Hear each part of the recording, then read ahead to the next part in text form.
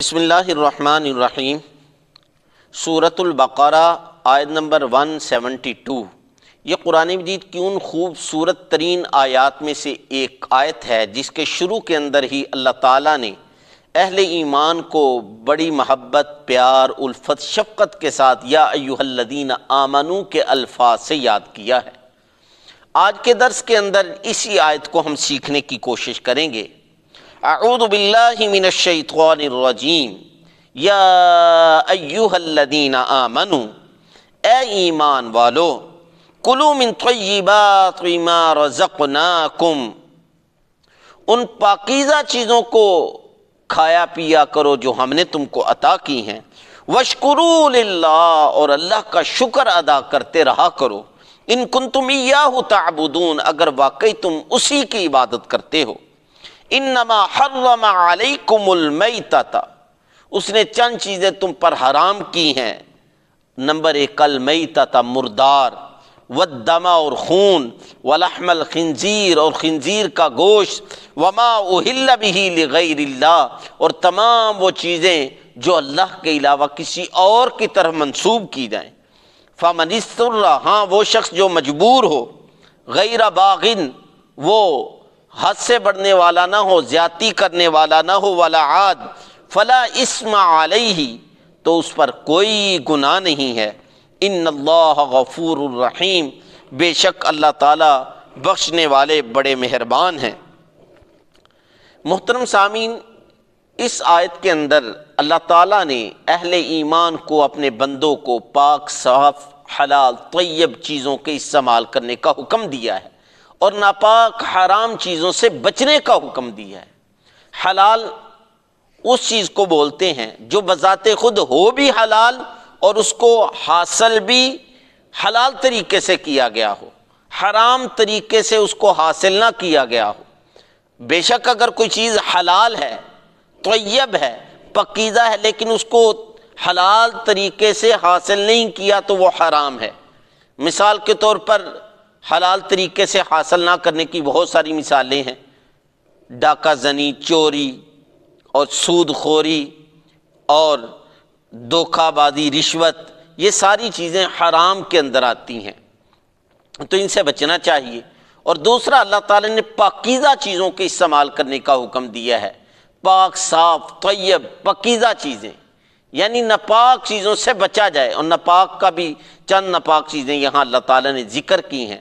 مردار، خنزیر کا گوشت، خون، اور وہ چیز جو غیر اللہ کی طرف منسوب کی جائے، اللہ کے علاوہ کسی اور کی طرف منسوب کی جائے، یہ ساری چیزیں ناپاک ہیں، ان سے بچنا چاہیے۔ اور محترم سامعین، انسان کی جو غدائیں ہیں، یہ جس طرح انسان کے جسم پر اثر انداز ہوتی ہیں، اسی طرح انسان کی عادت و اعتبار اور اس کے اوصاف پر بھی اثر انداز ہوتی ہیں۔ اس لیے اللہ تعالیٰ نے ہمیں پاک، حلال اور پاکیزہ طیب چیزوں کے استعمال کرنے کا حکم دیا ہے۔ کیونکہ اگر ہم پاکیزہ چیزیں استعمال کریں گے تو ہماری عادات اچھی ہوں گی۔ دل جو ہے اس کے اندر نورانیت پیدا ہوگی۔ دل جو ہے وہ نیکیوں کی طرف بڑھے گا، گناہوں سے نفرت دل کے اندر پیدا ہوگی۔ اور اگر خدا نہ خواستہ اپنے جسم کو حرام، ناپاک چیزیں وہ مہیا کی تو دل سخت ہو جائے گا، دل کی تاریکی بڑھ جائے گی، نیکیوں سے نفرت ہو جائے گی۔ اللہ تعالیٰ کے حکموں کو توڑتے ہوئے دل تھوڑا سا بھی نہیں گھبرائے گا۔ اس لیے محترم سامعین، میں اور آپ کوشش کریں کہ اپنے جسم کو وہ چیزیں مہیا کریں، اپنے جسم کی نشو و نما ان چیزوں سے کریں جو چیزیں ہمارے لیے حلال ہیں، پاکیزہ ہیں، طیب ہیں، ناپاک اور حرام چیزوں سے اپنے آپ کو بچا کر رکھیں۔ ویسے بھی محترم سامعین، اللہ تعالیٰ کا ہم سب قرب چاہتے ہیں۔ اللہ تعالیٰ کا قرب چاہتے ہیں، نزدیکی چاہتے ہیں۔ اور ہم چاہتے ہیں ہماری دعائیں قبول ہوں۔ اللہ تعالیٰ سے جو مانگیں، اللہ تعالیٰ وہ دیں، عطا کریں۔ یعنی مستجاب الدعوات بننا چاہتے ہیں۔ تو پھر محترم سامعین، ضروری ہے کہ ہم اپنے جسم کو وہ خوراک پہنچائیں جو حلال ہے، طیب ہے، پکیزہ ہے۔ اپنے جسم کو حرام سے بچا کر رکھیں۔ اپنے آپ کو، اپنی اولاد کو حرام سے بچا کر رکھیں۔ جیسا کہ حدیث ہے، حضرت سعد بن ابی وقاص رضی اللہ تعالیٰ عنہ نے آقا دنہا صلی اللہ علیہ وآلہ وسلم سے عرض کی، اے اللہ کے رسول صلی اللہ علیہ وسلم، دعا کیجیے کہ اللہ تعالیٰ مجھے مستجاب الدعوات کر دیں یعنی میری ہر دعا قبول ہو۔ آقا دنہا صلی اللہ علیہ وآلہ وسلم نے ارشاد فرمایا، اے سعد اے سعد اپنے جسم کو حرام غذا سے بچا لو۔ اپنے کھانے پینے کو پاک، صاف، پاکیزہ، حلال، طیب کر لو۔ یعنی اپنے آپ کی جو خوراک ہے، اس کو پاک کر لو۔ تم مستجاب الدعوات ہو جاؤ گے۔ تمہاری ہر دعا اللہ تعالیٰ قبول کرے گا۔ اور پھر آقا دو جہاں صلی اللہ علیہ وآلہ وسلم نے ارشاد فرمایا، اسی حدیث کے اندر قسم ہے اس ذات پاک کی جس کے قبضہ قدرت کے اندر میں محمد صلی اللہ علیہ وآلہ وسلم کی جان ہے کہ جس پیٹ کے اندر حرام کا ایک لکمہ بھی جاتا ہے، چالیس دن تک اس کا کوئی نیک عمل اللہ تعالیٰ قبول ہی نہیں کرتے۔ اور پھر فرمایا کہ جس جو جسم حرام سے پلا بڑا ہو، جس کی نشو نما حرام مال سے ہوئی ہو، ناپاک مال سے ہوئی ہو اس جسم کے لیے آگ سے بہتر کوئی جگہ نہیں یعنی وہ جہنمی ہے۔ تو میں اور آپ چاہتے ہیں مستجاب الدعوات ہوں، تو محترم سامین اپنی غذاؤں کو، اپنے رزق کو، اپنے کھانے پینے کی چیزوں کو پاک کریں، حرام چیزوں سے بچا کر رکھیں۔